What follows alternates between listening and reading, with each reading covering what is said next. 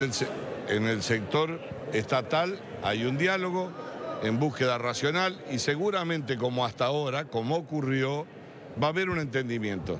Porque acá el punto de inflexión es que por primera vez no se está discutiendo la pauta salarial para recuperar lo que se perdió, sino la expectativa inflacionaria hacia adelante, donde obviamente, donde obviamente todavía no se ponen de acuerdo, no sé cómo serán los finales.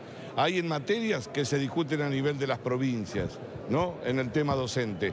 Y en el tema estatal nacional no estoy en condiciones de decir cómo va a finalizar.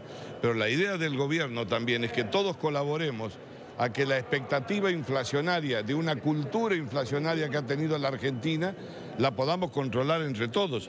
Pero se ha recuperado salario, ese, es el punto de inflexión. ¿Usted cree, como dijo el presidente, que lo peor ya pasó? Yo creo que estamos subiendo el Himalaya en bicicleta.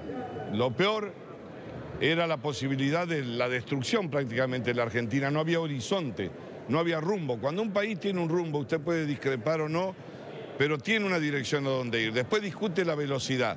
Y hace muchos años que no había un rumbo. Con la inflación, 70 años, como bien dijo él en la Argentina, y la política es responsable. No nos hemos podido poner de acuerdo en cómo derrotar la inflación, que es un flagelo.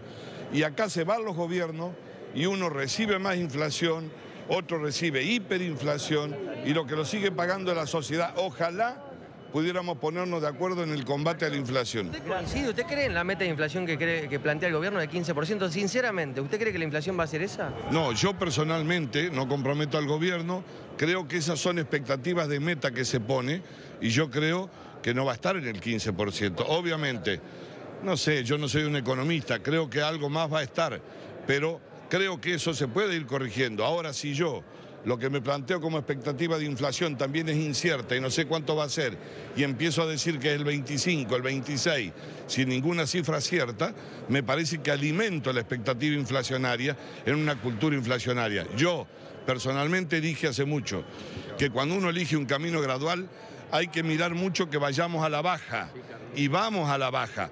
¿Es lenta? Es lenta la velocidad debería ser mayor, a todos nos gustaría. Pero eso tiene que ver con el problema social. Gracias, Mario.